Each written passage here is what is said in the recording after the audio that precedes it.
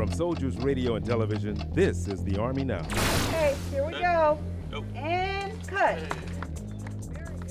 And with the snip of scissors, the U.S. Army Reserve officially opens its first fully functional solar powered training facility in Illinois.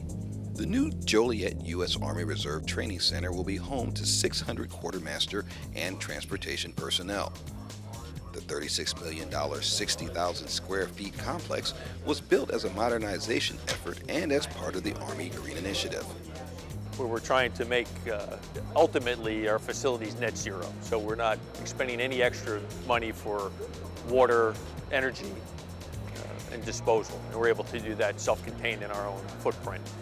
From the new Joliet U.S. Army Reserve and Training Center, I'm Army Staff Sergeant Doug Anderson. That's the Army Now from Soldiers Radio and Television in Washington.